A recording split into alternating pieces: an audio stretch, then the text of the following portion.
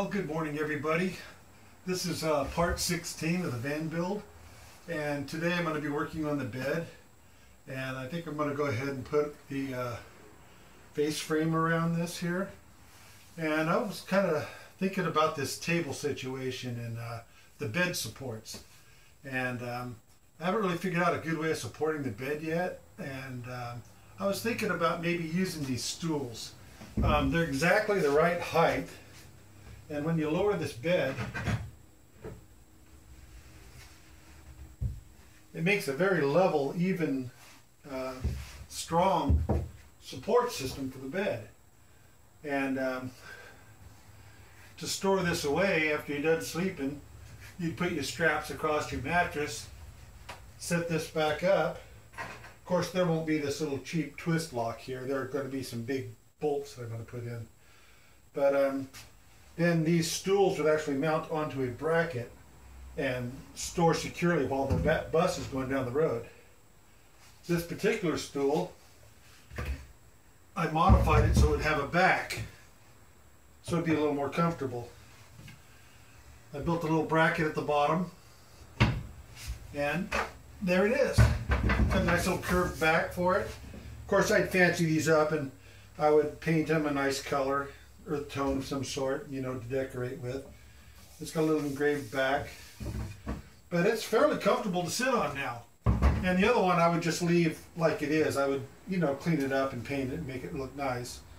And um, use it for maybe cooking stool or, you know, an accessory seat for, for when you're sitting at the table. But um, the table itself has just got a standard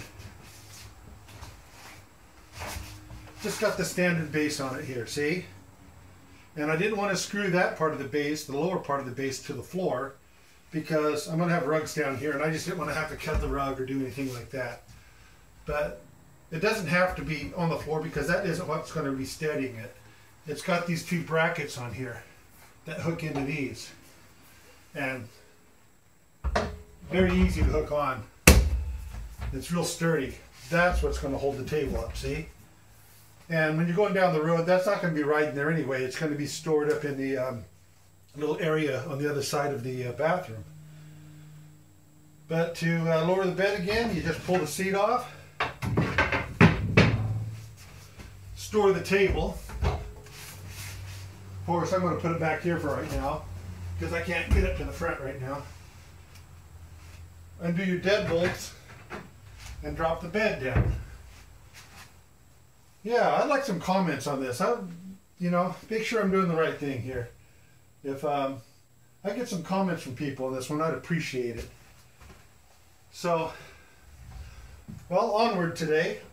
I don't have the kitty here bugging me this morning, so I think I'm going to try to get something done. And um, I'll catch you guys in a minute.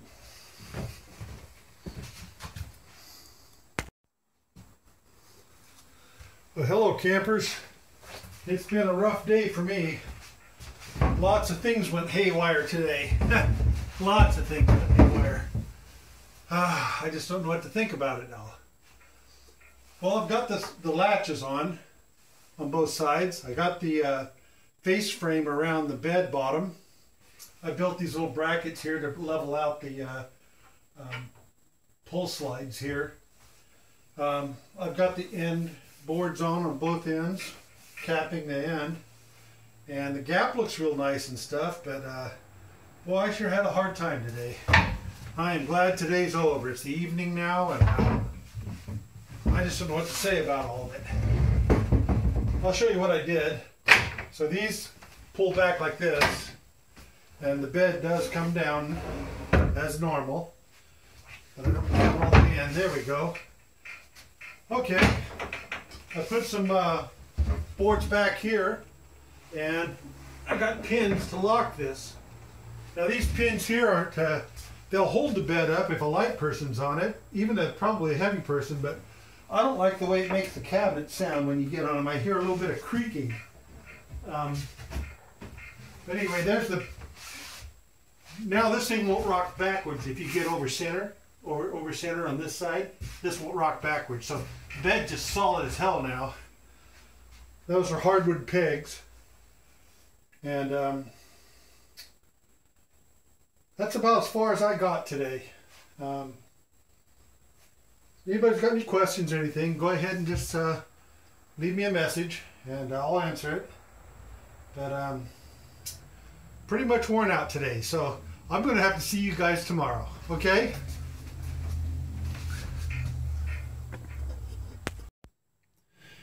Hey, after reviewing that uh, video, I didn't I didn't really get to show you exactly what this was here. These are wooden dowels, see, and they're screwed through that board and it partially into that uh, shower wall, and uh, that just locks that in. Like I was saying before, this hinge here had a tendency, if you got too much weight on this side, it would flip inward toward the windows. And you don't want to have that happen, it'll get you trapped back there. But anyway, I got another one on this side, so I might as well, you know, finish this video proper and let you see what I did.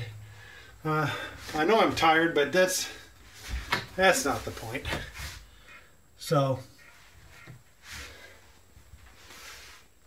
and uh, there's the latch strikers, and I put that that board right there on, and also the one on this side too. I've got to put a couple more screws in these. But, um, okay, guys, I'll see you tomorrow. I got pretty grumpy today. Uh, so I was sitting out here trying to listen to a little music, and uh, the cat ran off today because I was just too darn grumpy with him, you know. And, uh, oh man, it's funny. Well, guess who's back? Hey. Yeah, he come in gave me a little attention. Now he's sitting there cleaning himself. Hey, friend till the end, I guess, huh? Now, Rubes. Oh, buddy. Yeah. Good night, everyone.